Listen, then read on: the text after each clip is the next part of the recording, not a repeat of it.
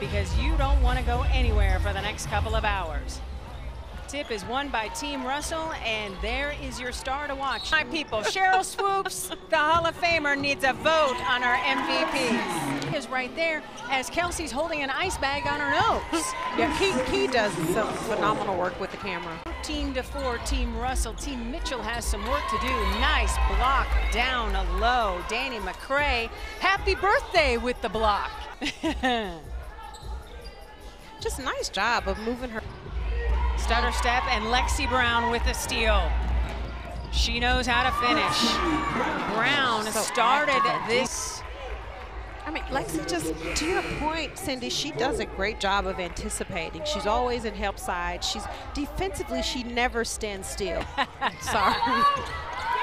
Lauren Manis with a terrific move.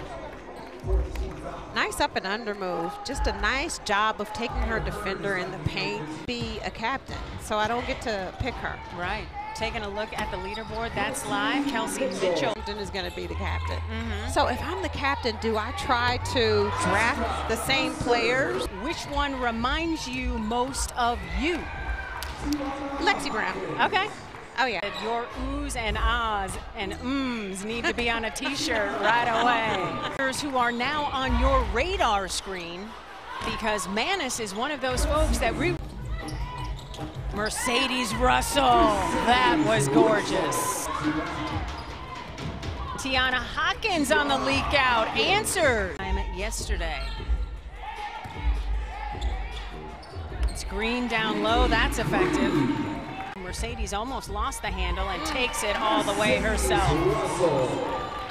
Russell or Green working hard down low will be for next week's games right here on AU Digital and Fox Sports as well.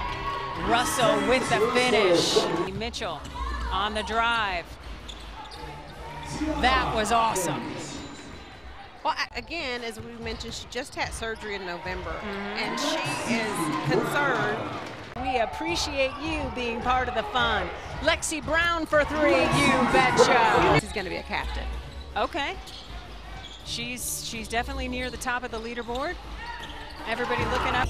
League high 13 made triples yesterday on the way to the win. Taj Cole just looks like she is having so much fun. She is definitely one of the players, one of the first big players I'm looking at. All of the games we've had, we haven't had any blowouts. Mm. Taj Cole with a big answer.